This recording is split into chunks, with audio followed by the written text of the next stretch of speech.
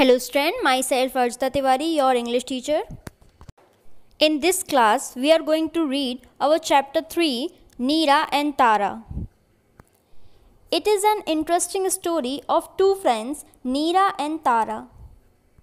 One day, a spelling test had done in the school. Neera had got full marks in test. She was so happy. The teacher also appreciated Neera and said, well done, Neera. You are a good learner. I'm so proud of you. After that, she looked at Tara. She upset from Tara as she had not performed well in the spelling test. Teacher said to Tara, This is not good. What happened to you? You did not study hard. Tara said nothing to the teacher. She feels so sad, her eyes filled with tears. Neera was sitting next to her. She touched Tara's hand and said softly, Don't worry, Tara, you will do better next time. As Neera felt bad for Tara. Now, during lunchtime, Neera was going to play, but she heard the sound of crying near the steps. Then she saw Tara was sitting and crying on the stairs. Neera sat next to her and asked her, What happened, Tara?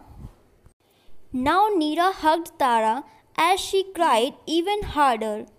Tara said to Neera, My mother is sick and she is in the hospital.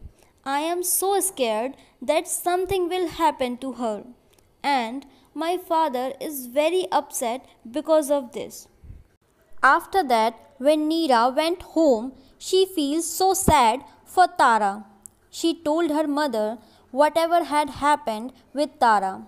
Her mother also said Tara must be feels lonely. Neera's mother called up Tara's father and take a permission to take Tara at her home. Then she told to Neera, Tara will stay with us till her mother is back. Neera clapped with joy and said, That's so nice. Tara came and stayed for four days. Now Tara was no longer sad, as she got Neera for doing every activity. They played together, they studied together, they slept together. Neera's mother made snacks for them. After four days, now it's time to go back home for Tara as her mother became better and her father brought her home. Before leaving Neera's home, Tara hugged Neera's mother and Neera and said, I don't have sister, but if I did, I would want her to be just like you. After Tara had gone, Neera's mother appreciated Neera as she is very kind and Neera's mother proud of her. Neera felt also very happy and she glad for everything she had done.